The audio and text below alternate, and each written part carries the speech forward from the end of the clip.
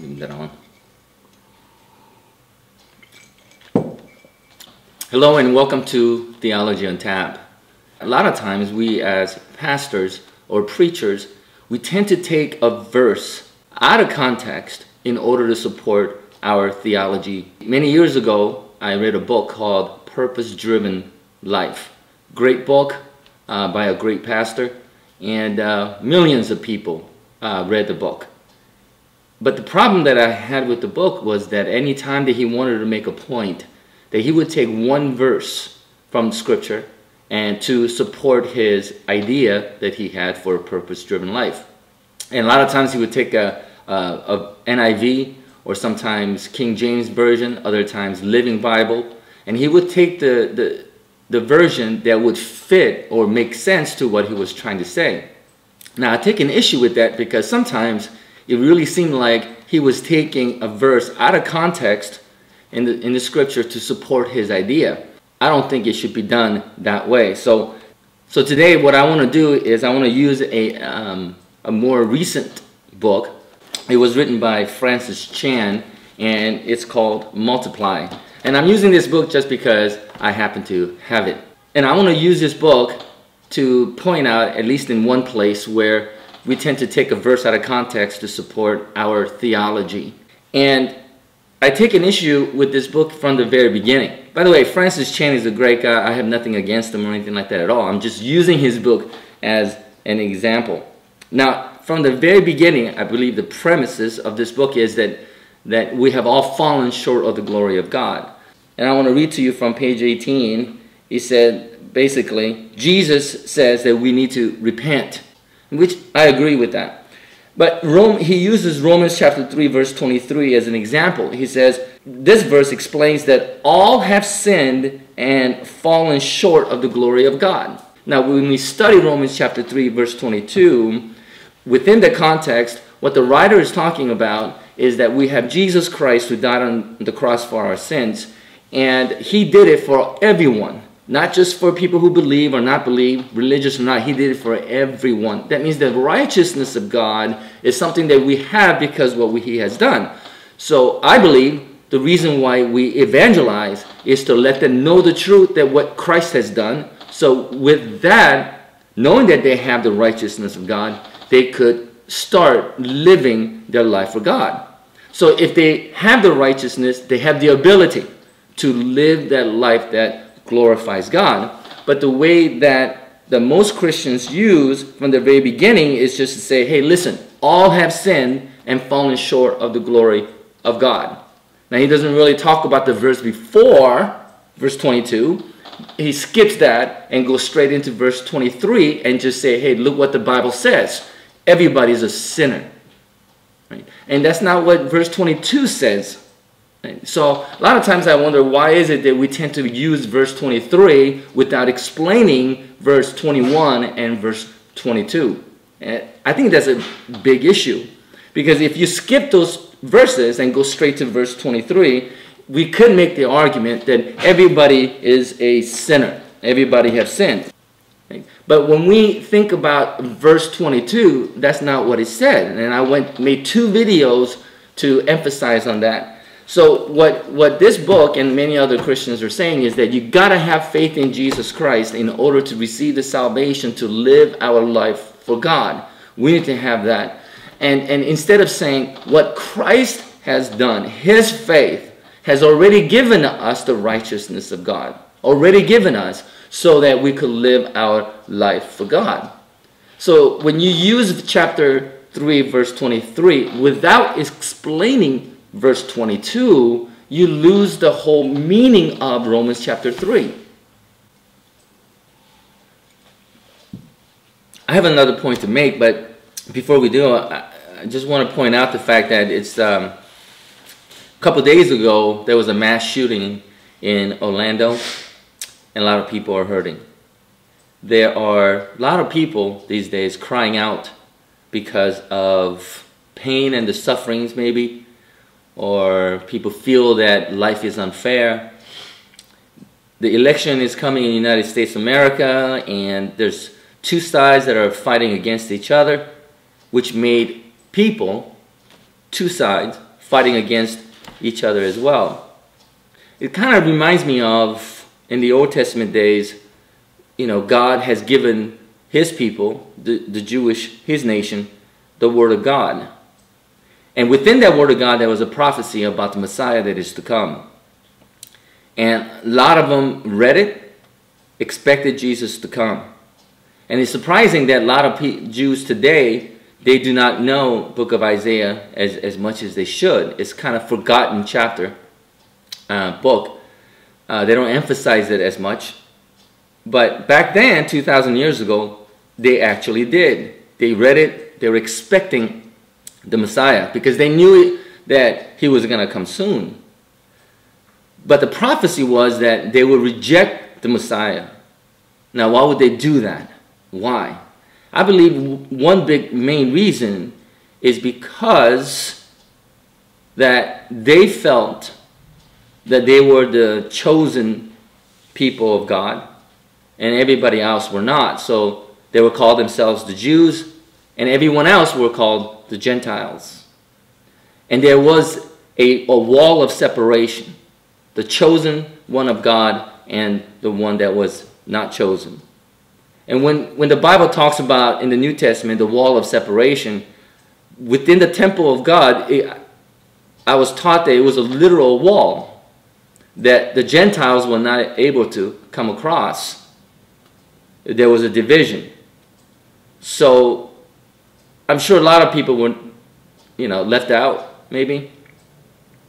And the people that was were within the wall basically felt that they were special. So when Jesus Christ came and he was going about preaching, there is a, a chapter in book of Luke, chapter 4. It talks about how Jesus went to his hometown of Nazareth to give a, a, a, sermon. He did a marvelous job. He read book of Isaiah, talking about the Messiah that is to come.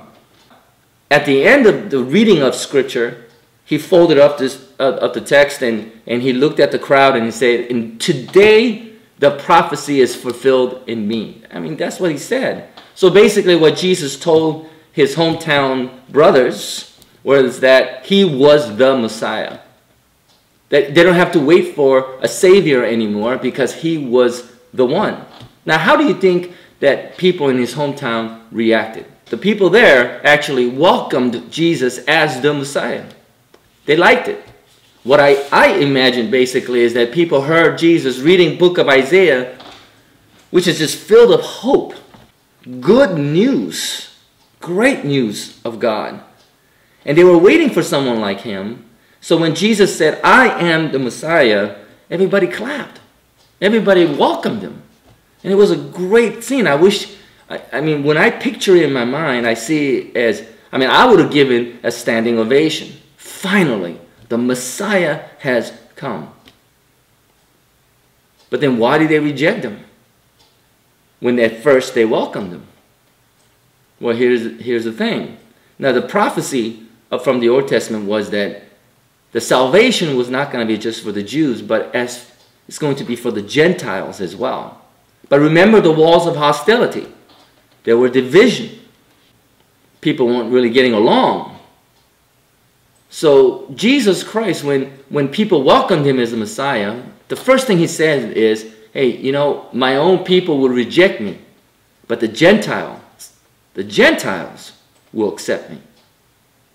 And the, I mean, the prophecy from book of Isaiah was that he will be the king of Jews and Gentiles. But the people that listened to him, who just clapped and was so enthused that Messiah has finally come for them, Man, they were upset. So upset. The Messiah was for the Gentiles. So immediately they tried to throw him off the cliff and try to murder Jesus Christ. And I believe that was the very beginning of the plots that they were making to get rid of Jesus. That's when they rejected him. The reason why I take issue with today's Christianity sometimes is that I feel like we're pretty much the same because we changed the Word of God, the New Testament, to fit our theology. For all have fallen short of the glory of God. So we automatically think that everybody is going to go to hell. But when you read verse 22 and 23, you realize that's not what he meant. Not at all. So why is it that we as, as Christians want to say, hey, you could have salvation, but only if you join us? Why do we build a wall of hostility? And why is it that we, we change the words in Scripture in order to support that theology? Theology of separation. I believe because of the wall of hostility that we have built to separate those of us who have salvation and that us that do not. Because we call ourselves Christians because we have faith in Jesus, but those who do not, we say you're outside of salvation, so there is a wall. You know. So as I'm making this video, I'm making it with a heavy heart. There are so many people who are in the need of salvation.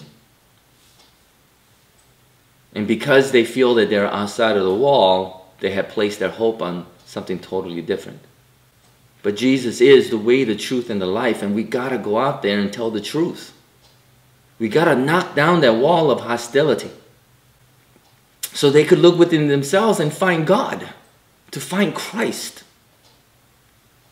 And within that comfort, that they would follow God because only God, only Jesus could carry the burdens, the difficulties of life, the annoyance of things that's going on in the world. Only Christ could carry that for us. And, and the reason why I believe in that is not just because the Bible says so, because there are so many others who have placed their hope on others, other people, other things, government, and all that. And they're not getting it. And sometimes when we rely on other people, it just gets worse. That's why Bible is clear. It says if you want to save your life, you will lose it. But if you were to deny yourself and lose your life for the sake of Christ, you will find life. And I'm a firm believer of that. And everybody has that within themselves. You don't have to go to anybody and say, I repent of my sins. And here's my another, another point. Why is it that we as as Christians. We use Romans chapter 3, verse 23. We use it all the time. All have sinned and fallen short of the glory of God. But we don't share verse 22. But you know what else?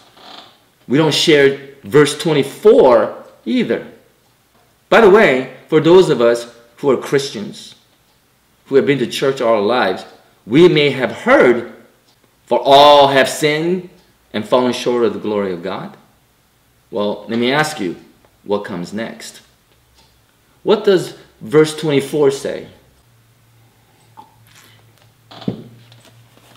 And I'll read it, verse 23 and 24 together. For all have sinned and fall short of the glory of God, and are justified, or in a better term, have been made righteous. Right? Are justified freely by His grace through the redemption that came by Christ Jesus. Did you know that? Now, in a lot of the books, you know what they do? Is that they use Romans chapter 3, verse 23 at the beginning of the book. And then at the end of the book, after they make their point about what we need to do for the church and for God or whatever it may be, they use verse 24.